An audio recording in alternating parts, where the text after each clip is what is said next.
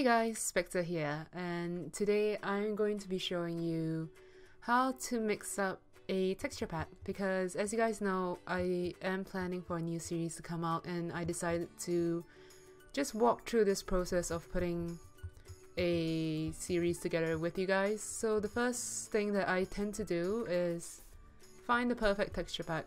Now, this can be a little bit annoying because sometimes you get texture packs and you really really like it but then you can't there are certain aspects about it that just doesn't work. So just gonna show you guys how to bring together two separate texture packs and I just skipped ahead of myself right there. Anyway the first thing you want to do is basically um, new window. Basically download a texture pack. Personally I usually go into Planet Minecraft. There we go Planet Minecraft and then here you'll be able to find the texture packs. You can find everything here to be honest but if you click on this it'll bring you to the area with plenty of texture packs, things like that. Download one of them, follow their instructions, whatever it is you like. So when you download it, you get this, which is a zip folder, and you want to unzip them. So right here, we are going to be using the hmm I think we'll use the Dragon Dance uh, texture pack as a base. So look for once you unzip it look for assets. I'm gonna make this window bigger because stuff happens. Okay assets Minecraft textures and here you are. This is the entire heart of your texture pack. So there are a few things in Dragon Dance that have not been retextured, so and some things that I just don't quite like. So we're gonna go into Cutecraft, which is an adorable texture pack, Minecraft, and here you have textures. Okay, first things first. Um, let's options resource pack. I'm gonna show you guys what the Dragon Dance looks like. Dragon Dance is one of my favorite texture packs. It's really, really pretty. And also the creator Steel Feathers creates like Dandelion and things like that. And it's just, he does really good work. So this is how the bit looks like. Crafting table, um, clay block, wool, wood, stuff like that. But let's go into game mode 0. So as you can see, the GUI or the item bar at the bottom hasn't quite been changed. The hearts and the hunger bar are still the same. So let's change that, okay? So we're gonna go here and this is the widgets. This is the item bar and things like that. So I can't really make them bigger, so Okay, so we're gonna go here and GUI and when you when you find a texture pack that doesn't retexture certain things, obviously they're not going to have the new textures here. So you can see here there's icon, but there isn't an icon here. So we're going to take the icon and we're going to drop it here. And so you have this cute little bunny icons now with carrots as the hunger bar, things like that. So obviously this is going to be a lot cuter. Just look at that. It's adorable. And then we're going to go into entities and chests. They also didn't change any of the uh, animals, so we're going to change that as well. So we're going to go back into entities. And we're going to drop maybe... Did they retexture? Yes, they retextured the chicken. Okay, we're just going to drop a chicken there. Uh, for purpose of showing you guys what's going on. And then we're going to go into items.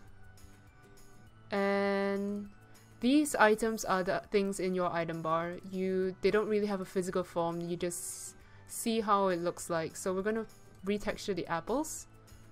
And once you drag and drop them into the the base thing that you want to use, you're going to be faced with this.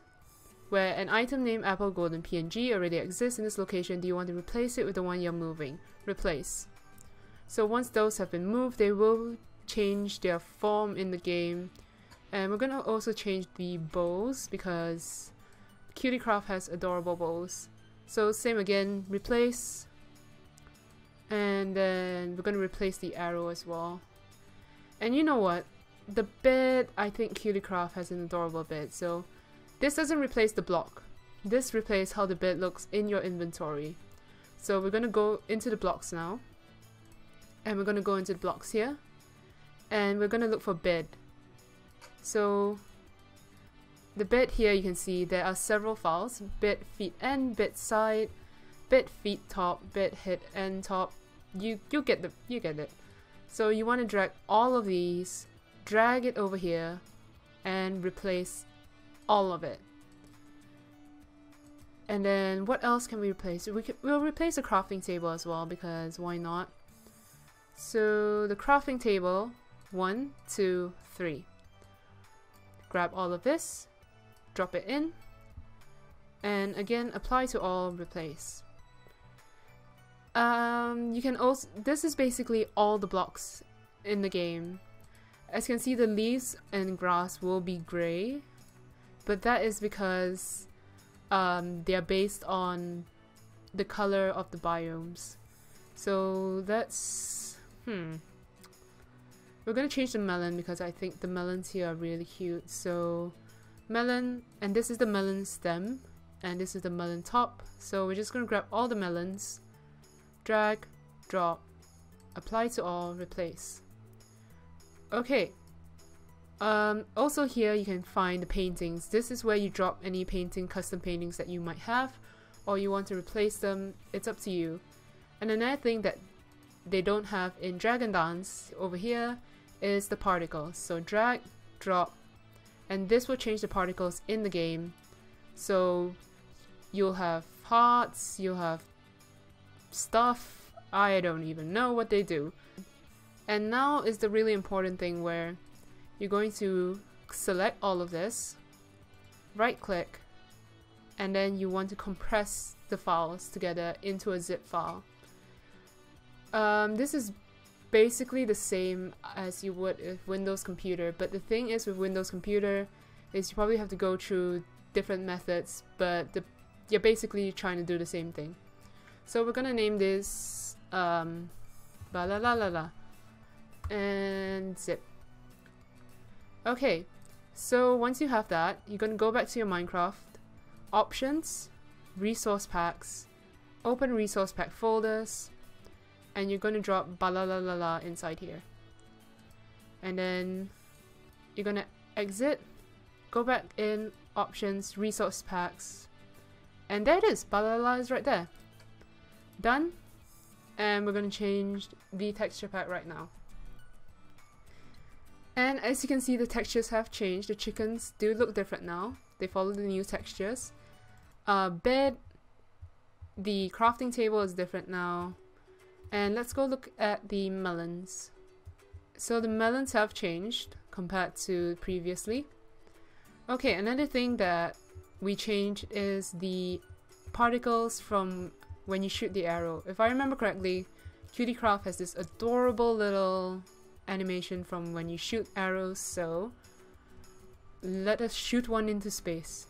There you go, you can see the little hearts trailing after it. So, yeah, let's... What have I done? Okay, let's go into F5, game mode 1, and look at some of the things that we did change as well. So I think that was the apples. So the apples are a lot more adorable now. And I think that was it. Oh yeah, we also changed how the bed looks in our item bar. So yeah, pretty simple, straightforward. There's really nothing to it. But I have some reminders for you guys, and they are pretty important reminders. Is that when you use a texture, they belong to the person who created the texture, so you're free to use it for personal use. But when you mix texture packs together or even recolor the textures, you cannot distribute it. I repeat, you cannot be redistributing it under your own name. You can send it send people back and say like, oh, this texture pack is a mix of Dragon Dance and Cuteycraft and give people the links. But you cannot give it out. This is because there are copyright laws involved in this and you don't want to get in trouble. So, yeah. Also, it's really bad grace to just take someone else's stuff and give it out as though it's your own. So, don't do that. Be nice. And yeah, thank you guys for watching. I hope you guys are having a fantastic day. Leave a like and subscribe if you haven't already. And next episode, I'm going to show you guys how to download mods. So, bye! To here, and welcome back to Ragecraft. So, this is the final episode of Ragecraft, which is probably going to be like 5 minutes long at the most.